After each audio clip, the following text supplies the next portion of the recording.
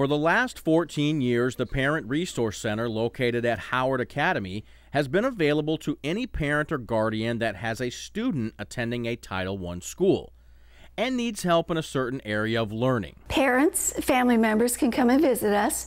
We're open from 8 o'clock till 4 o'clock during the school year, Monday through Thursday, and Fridays 8 to 4.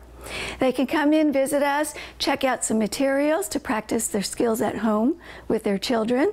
If children are struggling in um, a certain area, like main idea, um, they can pick a game and take home to practice skills. If parents cannot make it to the Resource Center, there is something else available to help and it has been around the district for the same amount of time as the center. If parents cannot visit the Title I Resource Center, we do have a Parent Resource Center on wheels that they can visit at their school sites. The um, Parent Resource Center on Wheels visits all Title I schools four times a year, one time during each quarter. So um, parents are given um, a flyer. You'll see a flyer that comes home. Um, it's going to be a goldenrod color and it will give you the date and time. The van usually comes to the campuses 10:30 to 2:30. At the van they can check out free materials.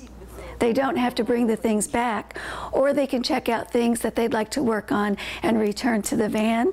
They can return it to their school, or they can return it to the, the center here.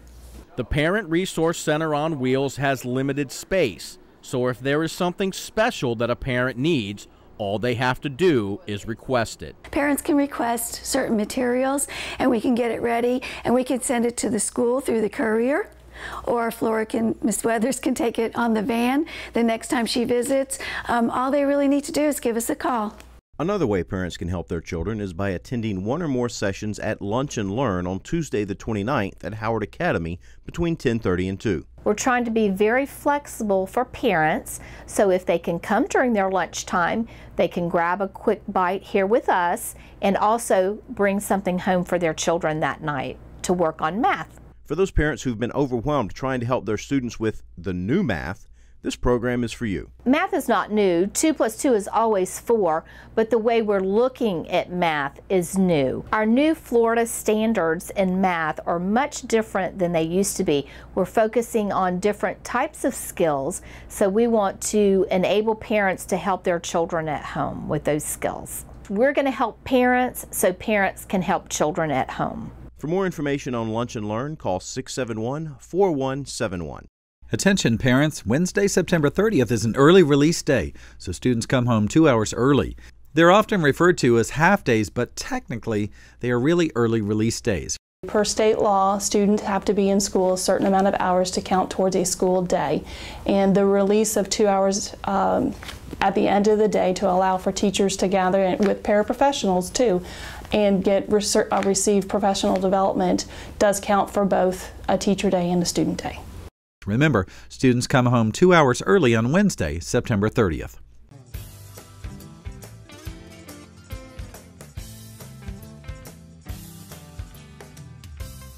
As you know, when families are engaged in their child's learning experience, students achieve more. Further research suggests that students perform better academically, have fewer discipline problems, and become more responsible adults when their fathers are involved in their education.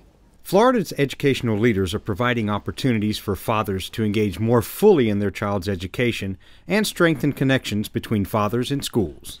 It's a wonderful thing as a parent to be able to get up every day with my daughter, uh, both of us to get ready for the day, and then not only do I come to work in the public schools in a middle school setting, but to be able to walk my daughter to school every day just next door at her elementary school. It's, it's something that years from now I'll look back and remember probably as one of those things that most parents don't get a chance to do, but I'm glad I do.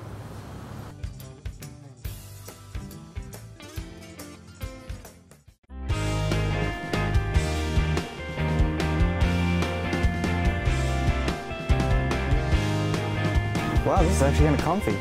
Marion County School Boards needs more bus drivers, and I would do it, but I'm too young to do it. But you can.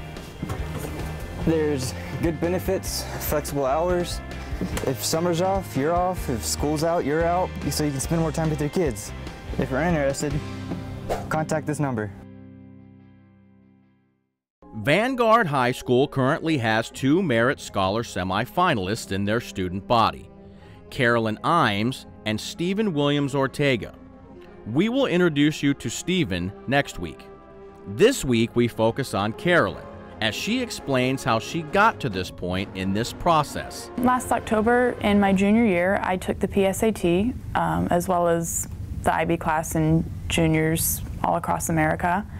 And because of the score I earned on the test, I was qualified to be a National Merit semifinalist. They pick about 16,000 high school students um, across the nation. They divide it up by states that according to population and school standards. And so roughly the top 1% of every state is chosen to become a semifinalist. She won't know if she has advanced until close to the end of the year. You find out in the spring, I think it's in February, um, sometime between February and April, you're notified by letter whether you've progressed onto finalist status or not. And the people who did not progress are also notified. Like the rest, she is hopeful. Hoping to become a finalist, hoping for one of the $2,500 scholarships, but there are only 2,500 of those. This is an enormous production. Um, this is the biggest production we've ever done at this school, by far. Set to take the stage at Westport High November 5th through the 15th, Jesus Christ Superstar involves a huge set. We're bringing this show into the audience. Um, a lot of it is to try to get more up close and personal and try to take a, a big, huge space like this and make it more intimate. Um, there's such a, a vast distance between the seats and the stage that it was really important to, to bring this show into the audience's face. Uh, so phase one, as you can see, is to extend this set uh, a good oh, 30 feet or so out into the seats, and we'll come right up to the seats.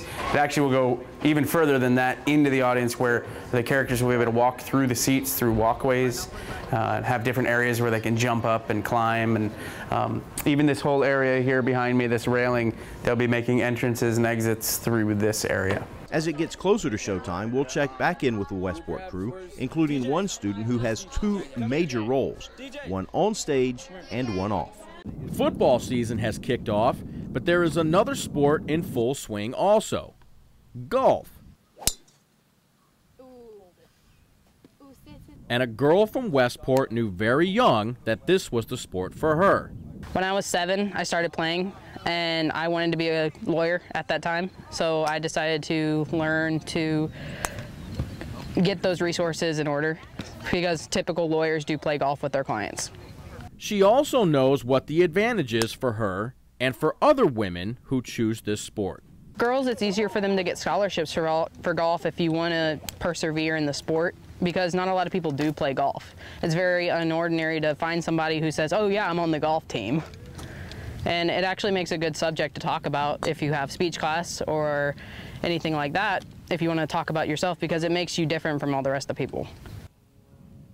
Speaking of golf, Marion County Public Schools is sponsoring a golf tournament as part of our fundraising efforts for the United Way of Marion County. The four-person scramble at the Ocala Golf Club will begin with a shotgun start at 12:30 on October 19th. That's a teacher workday. Schools and departments are being encouraged to field teams and whole sponsorships are available. For more information, contact Kathy Quellen in School Development and Evaluation. The tournament is just one part of the district's effort to raise $230,000 this year for the United Way. Superintendent George Tomyn dropped in on the annual meeting of secretaries and clerical staff at CTAE recently. He spent some time greeting and chatting with some of the people who really keep our district running smoothly, and then shared a bit of advice he was given a long time ago by a secretary. My first principalship, Ruth Wallace, Sunrise Elementary School. Mr. Tomyn, just listen to me and do what I tell you to do. And you know what I said? Yes, ma'am. Yes, ma'am. We would like to thank the more than 225 different individuals, organizations, and companies who donated to our schools last year. Combined, you contributed just over $1 million to help our students and teachers. Here's how some of that money was used. Thanks to generous donations, I was able to purchase 16 iPad minis for my high school English classroom.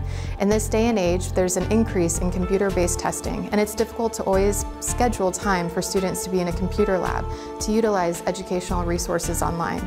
With these iPads in my classroom, students are given the freedom and the flexibility to be able to research, to write, to access those educational resources, and to be able to increase their learning.